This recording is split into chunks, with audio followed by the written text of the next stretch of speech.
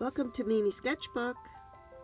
Today we are going to be painting the sweet little bunny girl offering up a flower as a gift. And let's get going.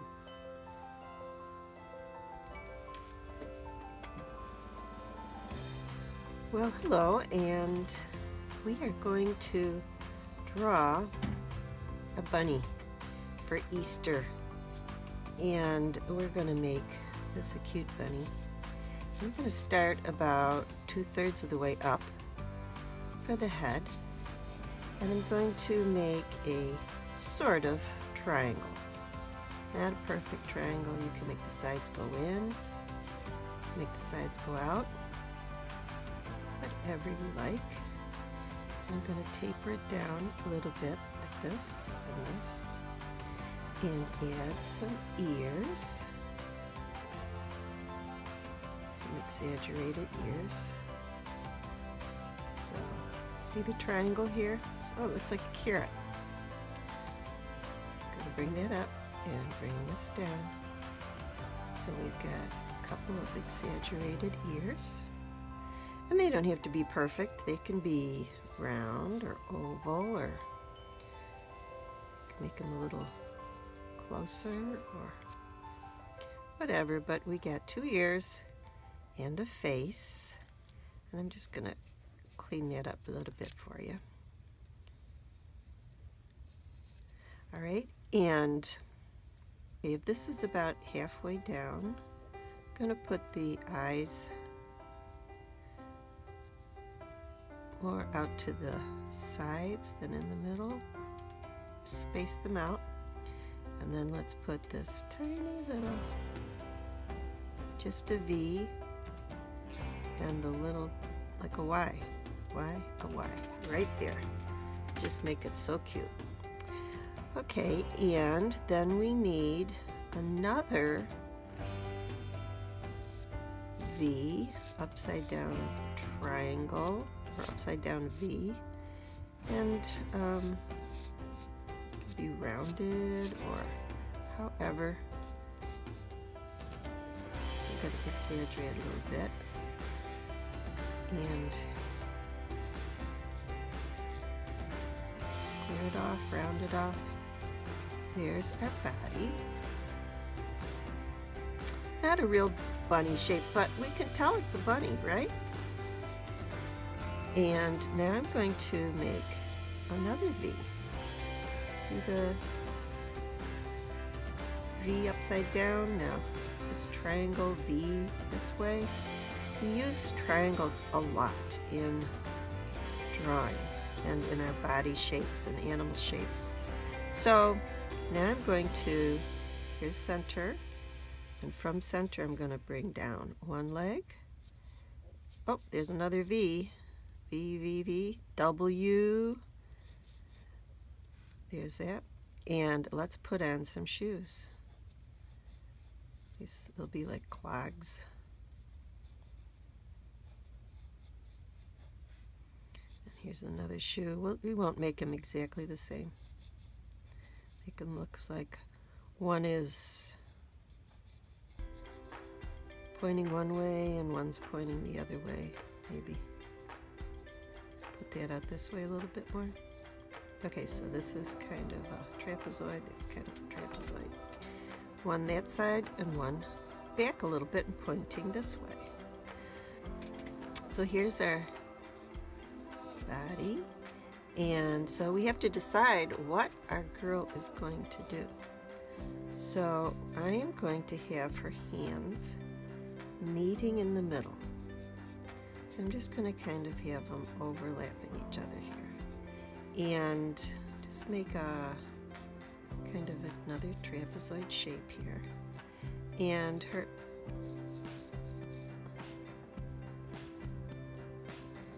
her arm is going to come out.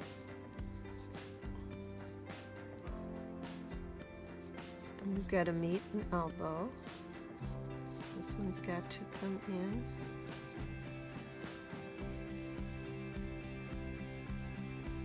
So we've got kind of a, see the triangle here? goes, see this flares out, there's a triangle. It meets the upper part of the arm. And on this side, maybe I'll erase it. The elbow comes out like that. Just gonna put a little. And there, do you see the triangle?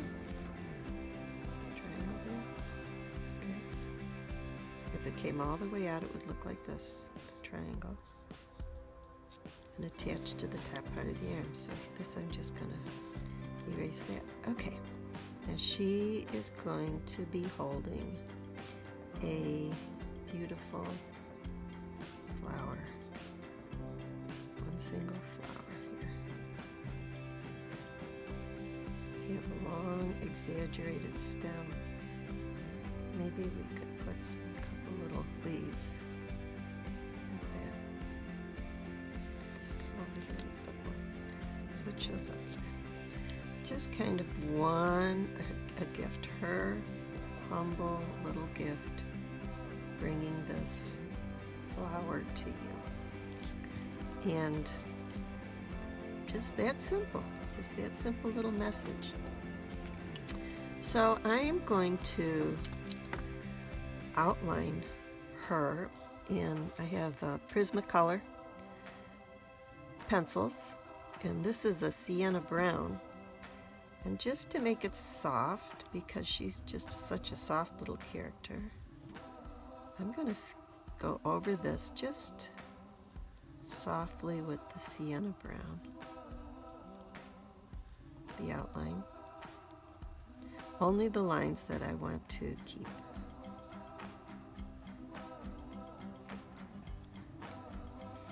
And I'm going to the, do that with the fur, but with the rest of, with her eyes and her nose, I'm going to use um, some black. Now, it takes a lot of work to erase a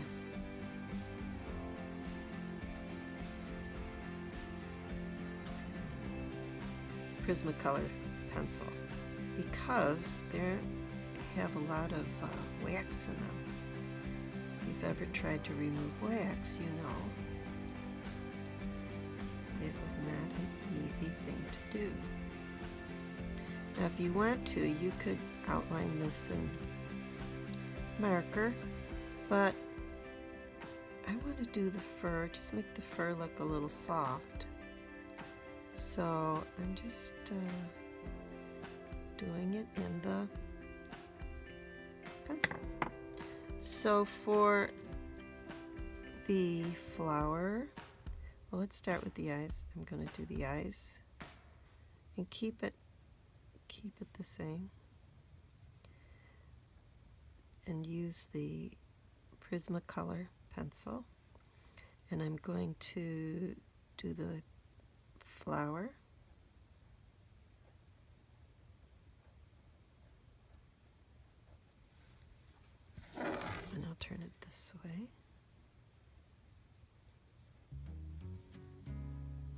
just simple little petals. No just keep it really simple. And the shoes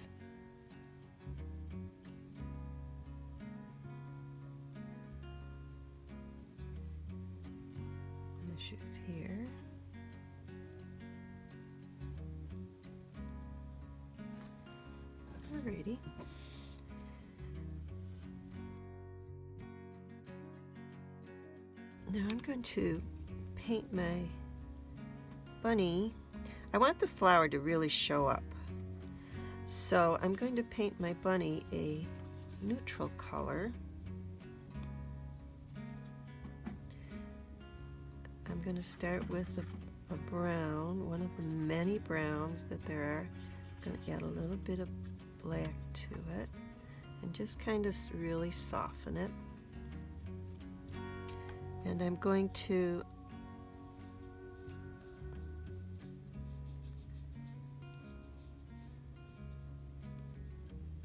leave some areas white. So here's and you know what we could have done, now that I look at this? we could have put a little dress on her. What was I thinking? Poor sweet girl needs a little skirt. Next time. Next time. There's always a next time with these nice little sketches. It never becomes such a big to-do to do it again because these are quick and fast, cute. The more you do them, the more comfortable you get. I'm going to just, well that's wet, I'm just going to grab a little pink and let it just blush in there. And I'm going to just wet the ears a little bit and get a little more of that pink.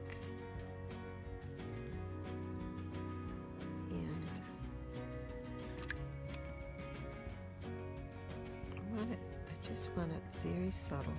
This is just a soft, I want it to be a soft picture. I need to pull the color down. And I can because it's still wet. I can adjust it a little bit.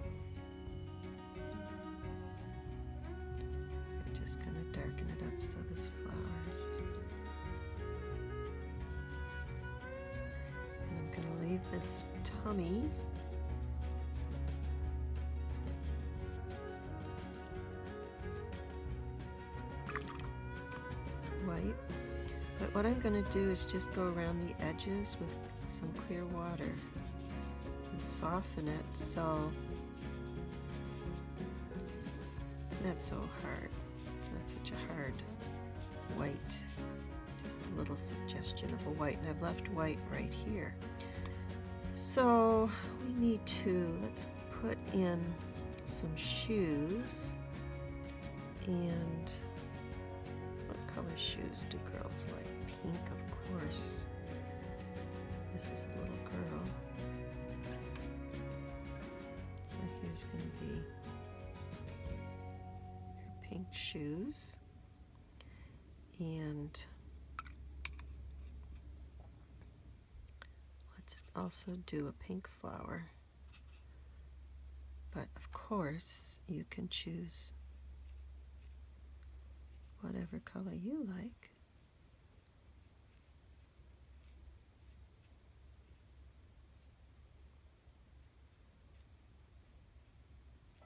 And I'm just, I'm holding my brush up and just so I can get that in there, fill it in.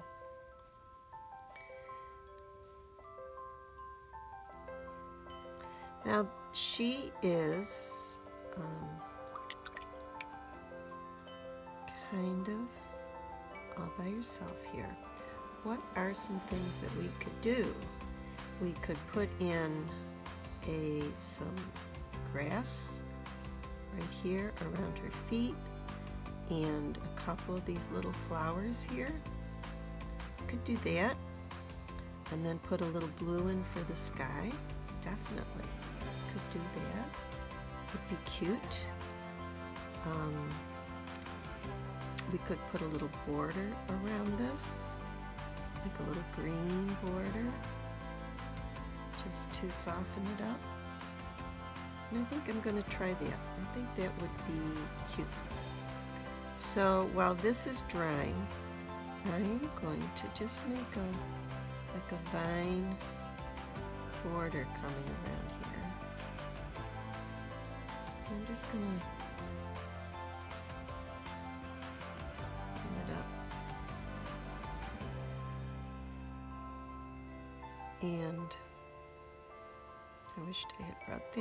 but oh well, we'll figure something out. And I'm just going to put some little suggestion of leaves.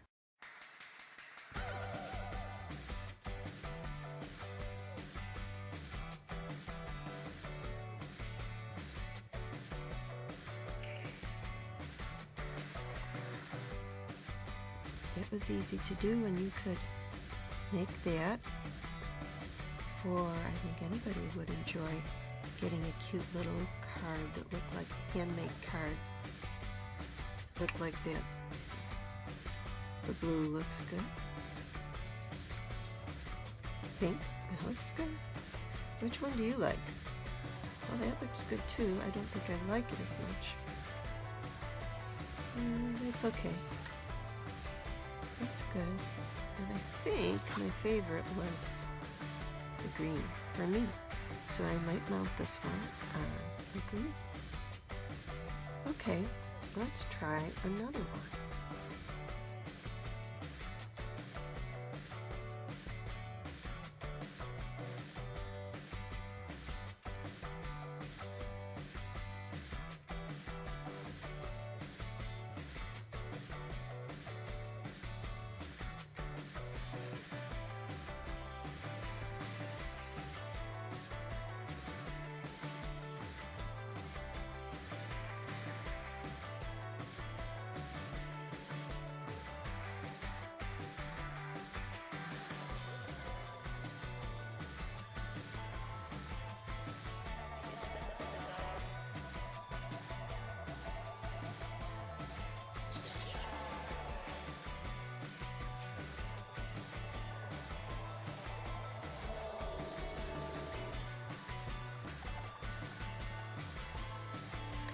Okay, let's put some kind of a little dress on here. And let's uh, just bring it out a little bit further. Then let's just go like this, keep it really simple. And she needs a little ruffle.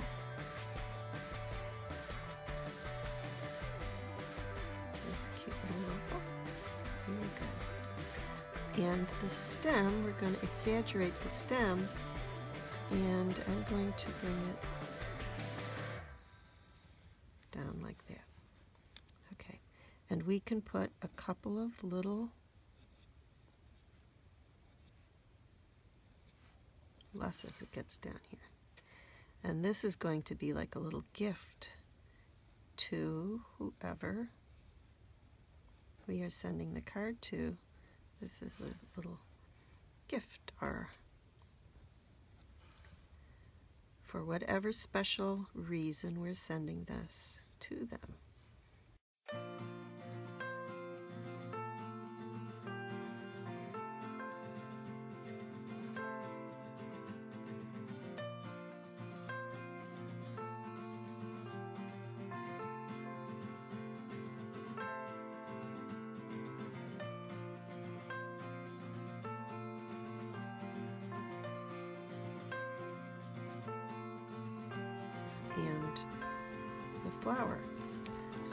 So let's paint it in and I'm using my koi. This is a koi watercolor. It's 48 different colors.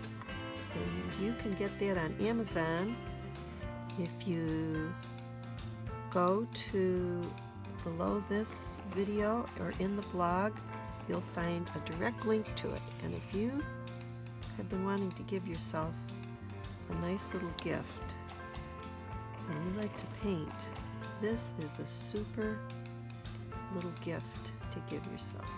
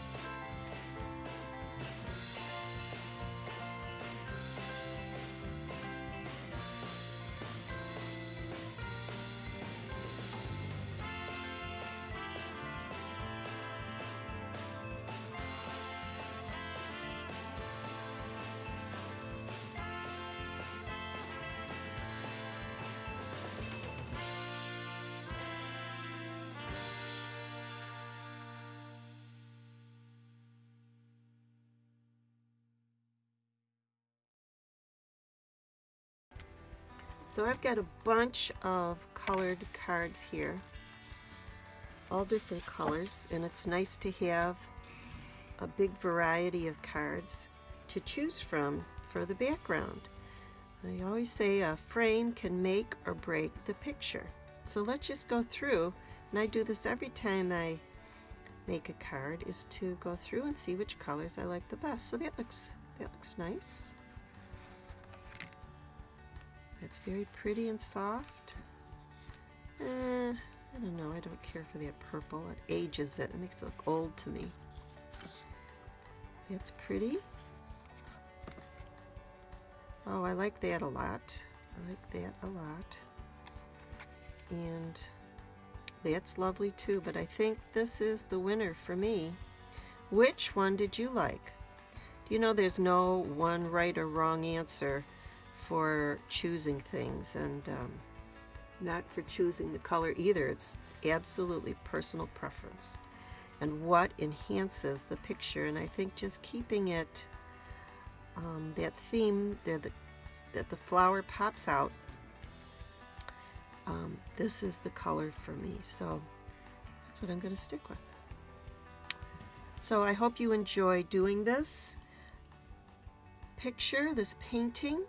Um, it's coming up Easter time and this would be so sweet for an Easter gift or for um, maybe a baby shower for a little girl, little girl birthday, whatever. It would be, I think, adorable. And if you don't have any cards to choose from, you don't know where to get cards, I hope you could see this. This is a set, it's called Craft Smith. There are 10 colors of cards, blank cards to choose from. And you can find that on Amazon. And I like these because this has a textured, a very slight textured surface and a white writing surface. If you've ever gotten one colored cards that they have a dark writing surface, I, I don't care for that myself. So I really like this. So it's on Amazon and you can, there's a link to it right in the blog. And I hope you um, enjoy doing this craft. So if you did enjoy it, please give it a thumbs up, share it, and especially try it. And if you can, try this with a child. Draw with a child. They have a ball drawing with adults. So thanks again for coming to Mimi's Sketchbook and come again. Bye.